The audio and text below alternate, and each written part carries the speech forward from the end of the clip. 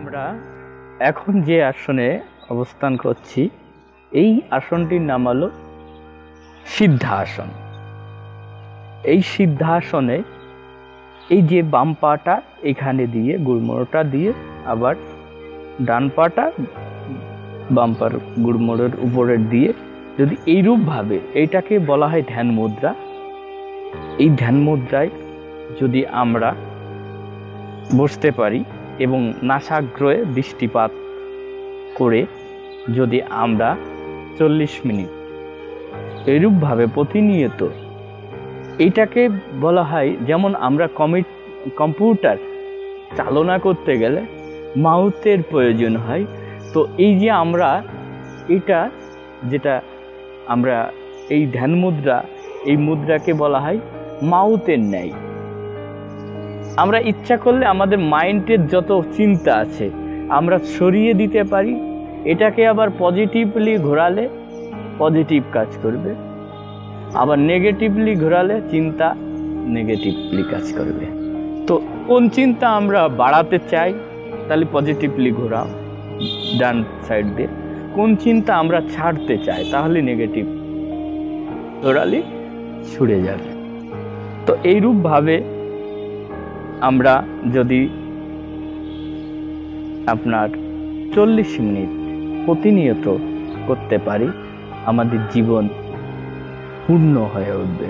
এমনকি আমাদের জীবনের যত দুঃখ আছে, হৃদয়ে দুঃখ কখন আসে, কমজোর জটি জড়তা হয়ে যখন আসবে, তখন হৃদয় প্রসন্ন হতে পারে না।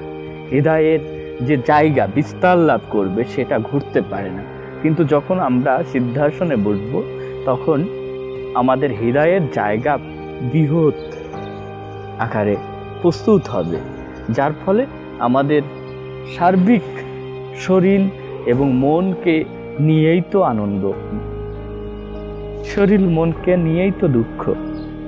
তো শরীরকে আমরা যেভাবে চালনা করলে আমরা সেই আনন্দের যাত্রা গ্রহণ করতে পারি সেটা মনে করা যেতে পারে সিদ্ধাসন। এইভাবে যদি চল্লিশ মিনিট প্রতিনিয়ত যদি আমরা করতে পারি, একসময় আমাদের যে কনসিয়াস পাওয়ার প্রচুর আকারে বেড়ে যাবে। ধারাবাহিকতা যদি আমরা তিন, চার মাস আমরা প্রতিনিয়ত অভ্যাস করতে পারি, তাহলে আমরা অবশ্যই অবশ্যই এতে এটাই উপকারিত হতে পারব। যোগে কোনো কোনো অলৌকিক নয়। লৌকিকের ভিতর দিয়েই অলৌকিক। আমাদের ভিতরে যত অলৌকিক, আমাদের যে মনস্তিক যে ব্যাপারগুলো, সেগুলো তো অলৌকিক।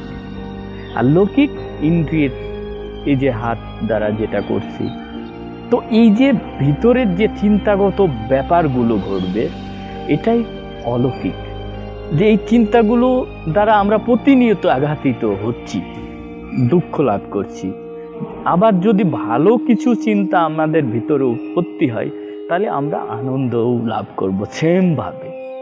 তো আমরা আমাদের জীবনের সেই আনন্দ লাভ করতে পারি।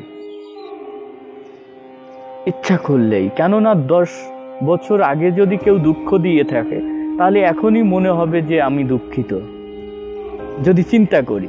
আবার দশ বছর আগে যদি কেউ সুখ দিয়ে থাকে তবু চিন্তা করলেই সেই আনন্দ, অনুভূতি এখনই পেতে পারি। তো আমাদের জীবনটাকে, আমাদের ভবিষ্যৎটাকে যদি আনন্দময় করে তুলতে চাই, তাহলে আনন্দের যে সূত্রগুলো বারবার করে আমরা যদি দৌড়াতে পারি, তাহলে আনন্দময় হয়ে উঠবে। আর যদি বারবার দুঃখর অনুভূতিগুলোকে নিয়ে আমরা চালিত করি, তাহলে আমাদের জীবন দুঃখময় হয়ে উঠবে। তো এইরূপভাবে আমরা নাসিক নাসাগ্রহে দৃষ্টিপাত করে এরূপভাবে যদি আমরা প্রতিনিয়ত চল্লিশ মিনিট যদি বসতে পারি, আমাদের হৃদয় আনন্দময় হয়ে উঠবে। মেরুদণ্ড সোজা রেখে। ঠিক আছে?